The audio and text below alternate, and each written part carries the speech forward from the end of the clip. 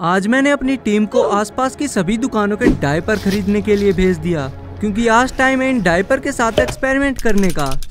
Diaper के साथ थोड़ी चीर फाड़ करने के बाद इसके अंदर से निकलते हैं ये सोडियम पोलियक्रिलेट क्रिस्टल्स, जो कि अपने से 10 गुना ज़्यादा पानी को अपने अंदर रोक के रख सकते हैं और ये देखने में एकदम बर्फ़ की तरह दिखाई देते हैं। लेकिन अगर हम मिथनॉल के अंदर थोड़ा सा बोरिक एसिड डालते हैं और उसको अच्छी तरह से मिक्स करते हैं और फिर इसके अंदर सोडियम पोलियक्रिलेट क्रिस्टल्स डालते हैं तो उसके बाद हमारी फायर स्नो रेडी हो जाती है। लेकिन ये बहुत ही खतरनाक हो सकता है, इसलिए आप ऐसा कुछ भी ट्राई ना करें।